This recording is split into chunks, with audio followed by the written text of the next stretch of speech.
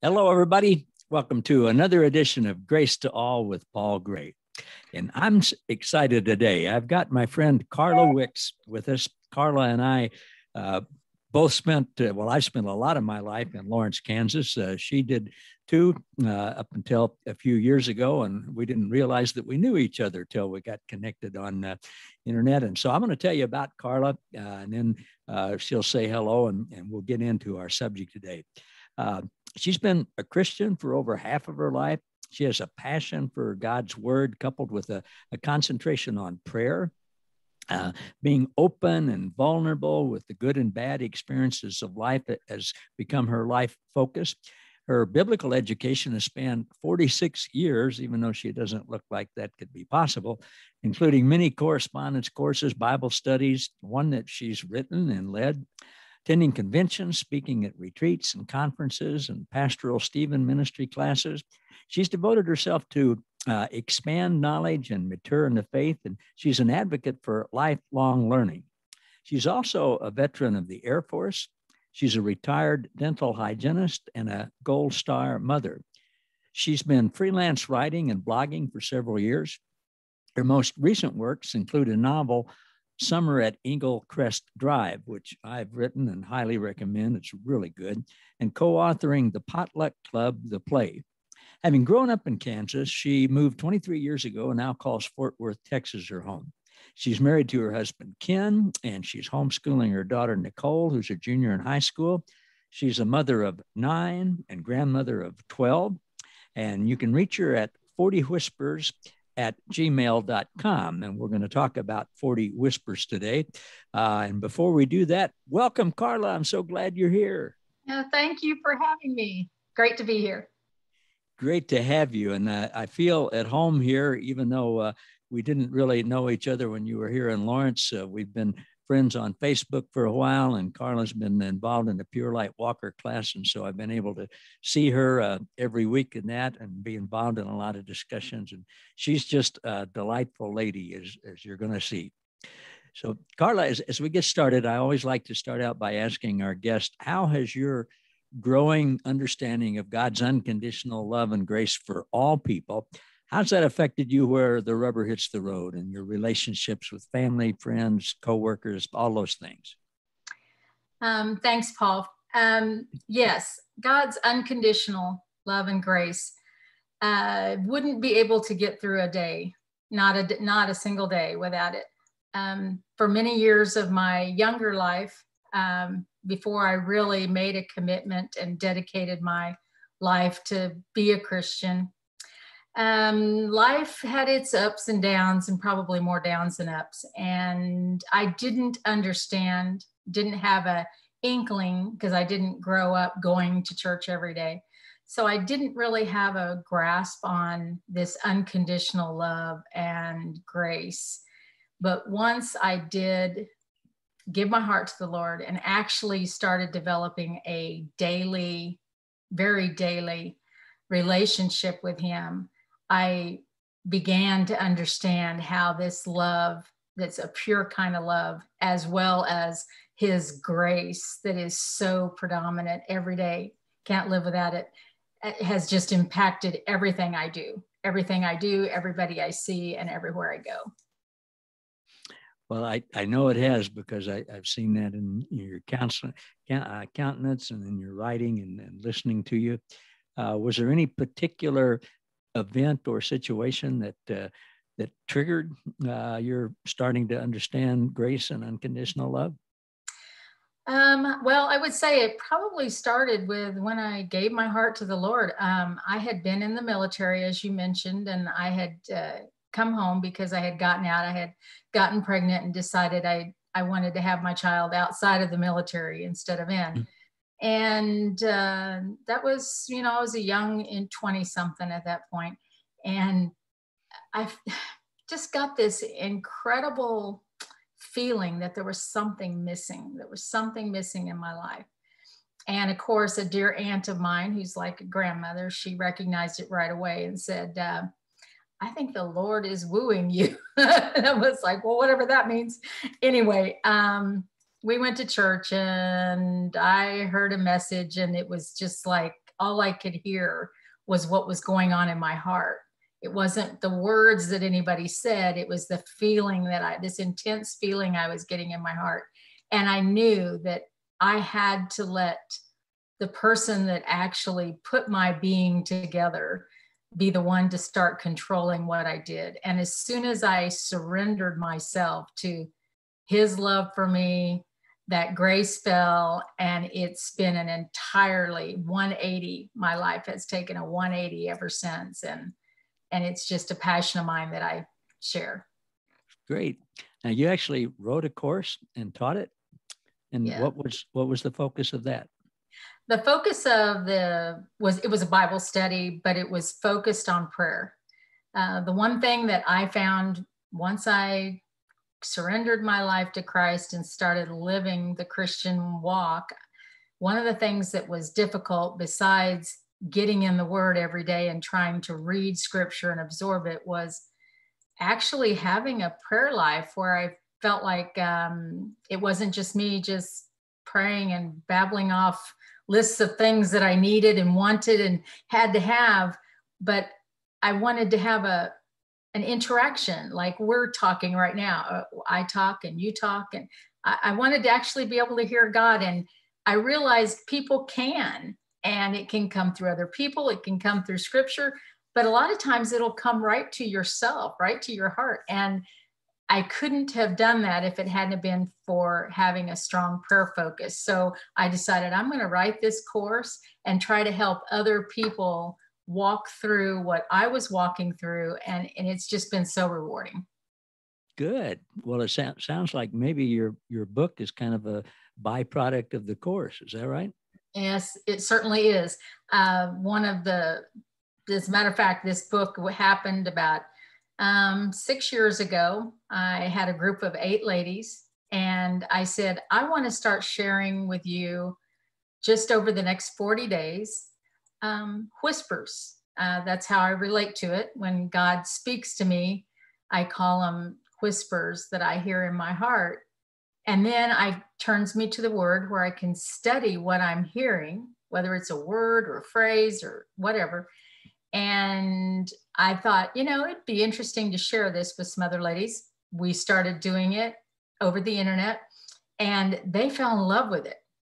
And then I thought, well, you know, I don't think this was just meant for those eight ladies. I think this was meant for anybody. So I put feet to actually putting all of those 40 days into a book. And that's what's um, that's what I have now is the uh, that still small whisper that's coming out. So are those those 40 days are like a, a one day at a time study and you encourage yes. people to do it for 40 days? Yes. Taking it in small chunks. Yes, somebody could probably sit down and read the whole 40 day devotional and prayer guide in in a couple of hours in a big chunk setting, but the idea is to make it a discipline and actually be something that you go to during your quiet time every day. And if you do it for 40 days, I think everybody will see a transformation in their prayer life and what they're actually hearing from heaven. And you call it whispers. Uh, and in my book, Notes from Papa, I call them notes uh, that yes. I hear him saying. And then I write them down. And like you, I'll, there'll be something that uh, uh, ties in with the scripture that uh, I'll look up and study or uh, will remind me of something I've heard somewhere else or whatever. Uh, it doesn't make a difference what uh, we call them or or what we call uh, God, really, uh, Papa and Jesus and the Holy Spirit. Um, the the important uh, point is that um, that we do set aside that that time and and not only talk to him uh, but listen and uh, uh, so have you in your helping other people do that have you experienced people who had never really heard God's voice before, and I think He's always speaking to everybody, but we're not always aware of it. Have you had people start becoming aware of that and then been able to share that joy with them? Oh, yes, I have. As a matter of fact, uh, it was about a week into the class. I think we were like day seven or eight. And one of the ladies said to me, I heard one. I heard one. and then when I finally got to start publishing the book, the lady who actually started to work on my cover graphics, she wrote to the publisher and said, I heard one of those whisperings last night. So, so that's my goal is that we're going to, I want to grow this community of people that can hear these whispers and you know that that's what they're hearing. They're actually not only doing all the talking, that they're quiet for a little bit and they're listening to see what they hear in their heart or hear in their mind. So yeah, it's Good. been really fulfilling. yeah, it is. I heard uh, somebody say one time, long time ago, at a conference or something, uh, saying, you know, when when you're when you're praying, you're talking to the one person, the one entity in the entire cosmos who knows everything. So why would you want to do all the talking? But I can understand that. I, I get that point. right, right. I do too. Yeah. So you've been active on on the internet, on social media uh, for a while, and uh, you've done some ministry there, connected with different people, which is is how uh, how we've met. Uh, it, did that just start gradually? How how were you? How'd that come about in your life? Well, some of these people that I connected with early on were people that I knew through my involvement with doing community theater. And we grew a group there that then I said, well, you know, I could expand this, put it out on who knows what's going to happen, put it out on Facebook and just see who responds. And I was very pleased when I saw other acquaintances that knew me and some that didn't know me but knew somebody else that knew me. And it kind of happened like that, that, that I started getting a following of people that were interested in what was actually going on and what was actually happening that because they were hearing good things. So I said, great. Well, great community theater. Now that that wasn't on your resume. Did you do oh, theater yeah. when you were in Lawrence? no, I'll tell you what. When I was in high school at Lawrence High School, um, I was in choir and I was in marching band. Um, the last thing on my mind would have been theater because I had a preconceived notion of the theater kids, and they were not the same. That I, I didn't feel like we floated in the same boat. Um, and I had no inkling until, like I said, my daughter that we have now, when she was eight, we tried everything. We tried gymnastics, we tried cheerleading. And finally, when she was eight, she went to a theater class and she said, These are my people. I have found where I'm supposed to be. And I thought, great, because I don't, I don't have any leaning toward this. And I started going with her, taking her, and pretty soon I found myself giving her pointers on, like, well, maybe you should stand and do this, and maybe you should. And she said, you know, if you know so much, maybe you should audition. And I thought, well, maybe I will. Maybe they need just a person to cross from corner one to corner three. So I did. I auditioned for Tom Sawyer, and the director called me and said, I want to offer you a role. And I said, a role. That sounds like speaking because yes. I said, Oh, I just thought maybe you needed like an extra.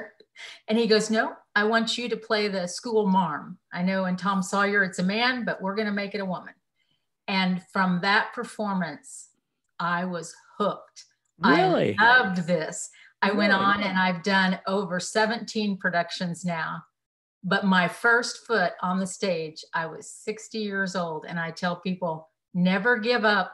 You never know what's around the corner that you might find some new passion that God's going to all of a sudden just blossom. And just the friend base that I have developed, it has, it, it it's just been remarkable. But I never knew. And I think, why didn't I find this a long time ago? so you've done one or two or three shows a year, right? Oh yeah, yeah, yeah. And we've done several, my daughter and I together. As a matter of fact, in the beginning when we started out, Tom Sawyer, Music Man, Secret Garden, Miracle Worker, she was like loving it, you know. And then she said, you know, uh, maybe you should try to do some plays not with me. she wanted to try to do some by herself.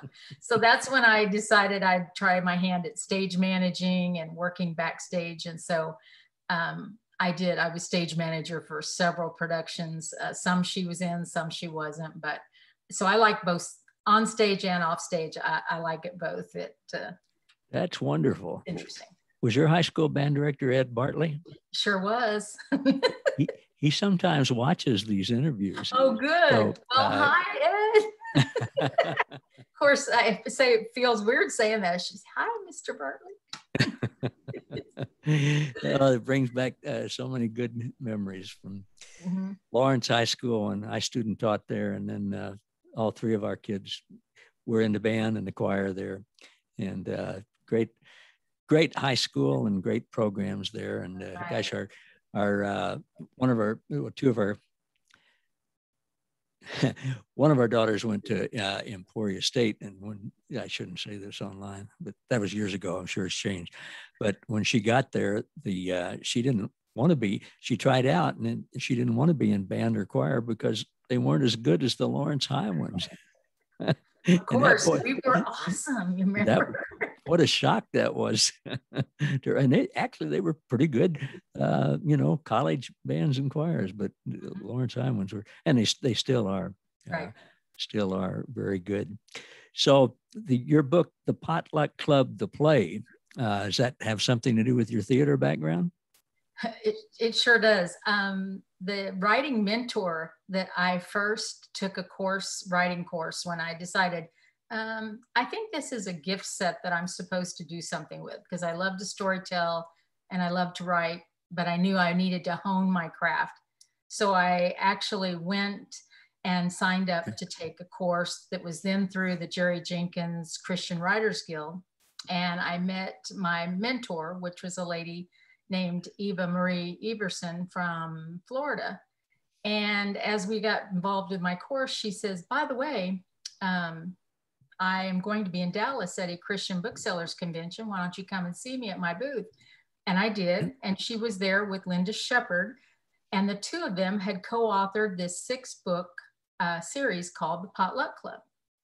And it's a very lovely series and the characters are warm and rich and you just you just get right into their lives. And i said to her after i had read all six books i said um, i would like to maybe write one of those as a play. And she goes well she says how about if we just try the first book?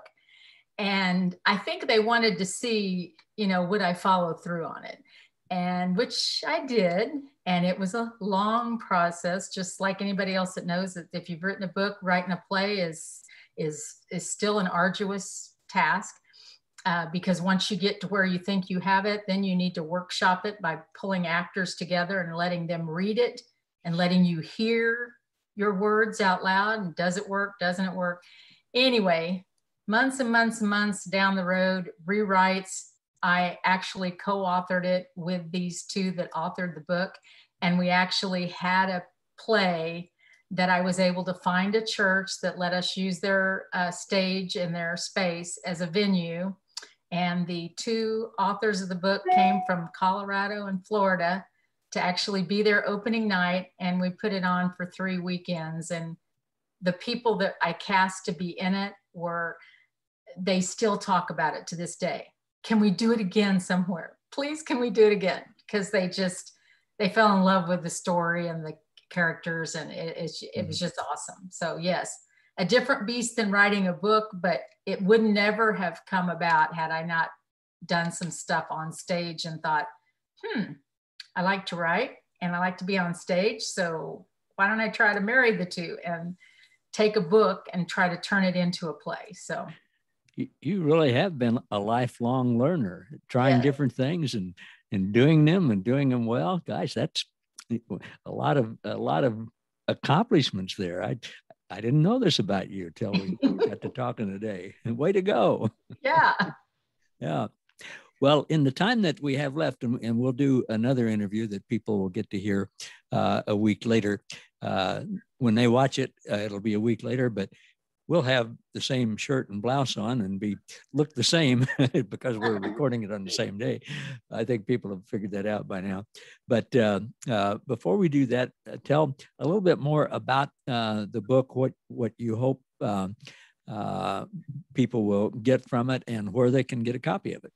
Okay, um, it's called that still small whisper. It'll actually look just like this. This is the oh, cover. Great. Yeah. Um, it will be available. I was trying really hard for an Easter weekend release. Uh, looks like it's actually going to probably release on the marketplace um, April the 10th, but don't hold me to that date. But very soon, very soon, it's going to be available. People can get it um, Amazon.com, BarnesandNoble.com. It'll be available there. They can also write to me, and I can actually sign it to them and send it to them if they so wish. And I can be reached at 40, that's the number, 40 whispers, plural, at gmail.com. Great. Well, I have an order in for mine and I'm looking forward to getting it. Yeah. Yep. Just as soon as they hit my door, they I've got my pre-orders that are going out. yeah. Good. Well, it's a great experience to do that and then to uh, uh, to see it finally come to fruition and then and then of course to see people um, benefit from it uh, and that's why obviously why we or at least with me and most of the authors that I know that's why we do this so so that we can help other people and and I'm sure that it will so and we'll talk about that a little more in our next interview so Carla Wicks, thanks again for being with us today. Sure. Grace to all with Paul Gray. It's really been fun getting to know you better. Hey, anytime. Thanks. Well, we'll do it again in just a little bit, and people will get be able to see that next week. So, thanks again, and thanks to everybody for joining us today for another edition of Grace to All with Paul Gray.